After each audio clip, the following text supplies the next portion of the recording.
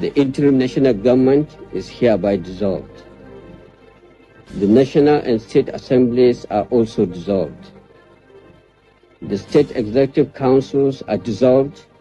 The brigade commanders are to take over from the governors in their states until administrators are appointed.